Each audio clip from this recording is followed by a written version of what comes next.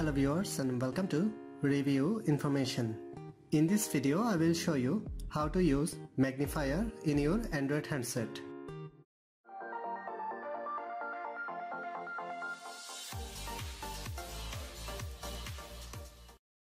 First, let's see what is magnifier and how it's work. Tap on 3 times quickly anywhere on the screen.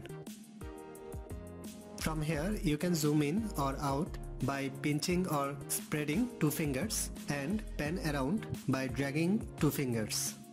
You can use magnifier on any app you want. And try it.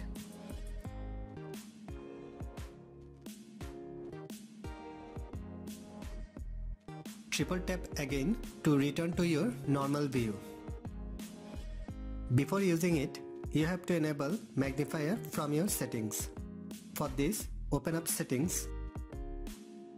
Go to accessibility. I am using Huawei handset where accessibility is under smart assistance. Find the option magnifier or magnification gestures. It is already enabled. If you toggle up this button, the magnifier options will be disabled. Now again, toggle up this button to enable magnifier.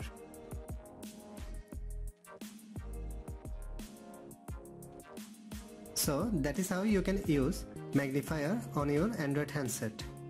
Thanks for watching. Hope you guys enjoyed my video.